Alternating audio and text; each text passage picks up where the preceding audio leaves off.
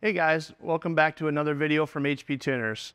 My name is Steve. Today we're going to be talking about all things widebands.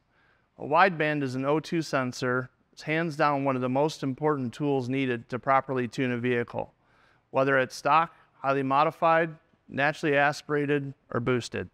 Here at HP Tuners, we sell two widebands from Ballenger Motorsports and another from AEM.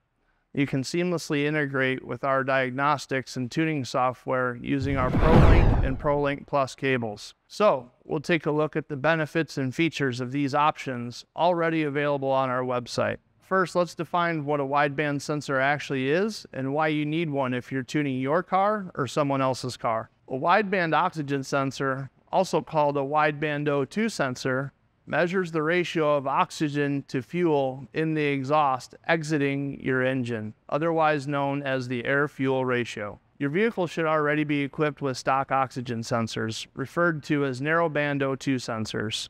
But when you start modifying your vehicle, you need to accurately measure the AFR at wide open throttle, which requires a broader range of measurement. Whether your build is boosted or naturally aspirated, you'll need to measure the AFR, those targets will vary depending on the modifications done to the vehicle.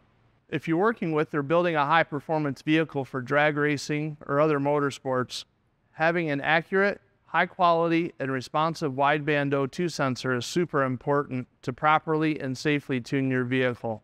Once you install the wideband of your choice into your vehicle, you can log that data in our VCM scanner and then use the data to build your vehicle's custom tune in VCM Editor.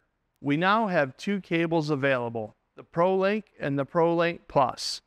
If you have an MPVI2 or MPVI2 Plus, you'll need the Pro feature set and the ProLink to do this. However, for the MPVI2 Plus and newer generation devices, you'll need the ProLink Plus cable. Now that you understand the basics of what a wideband sensor is, and its importance in the tuning process, let's go through the three options we sell and why you might want to pick one over the other.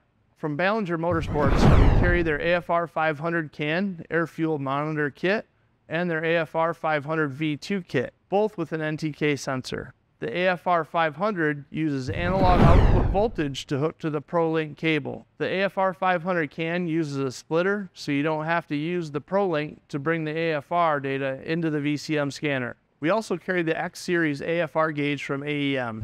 Out of the few options that we offer, this is the most budget conscious sensor.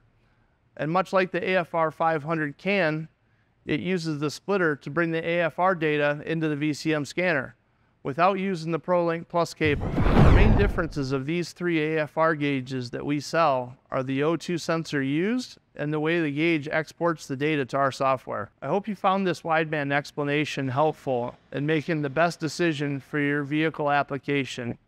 See the links in the description box below to research and purchase any of the widebands we discussed today, as well as the link for the ProLink Plus installation video.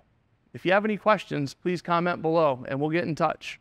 Thanks for watching and we'll see you in the next video.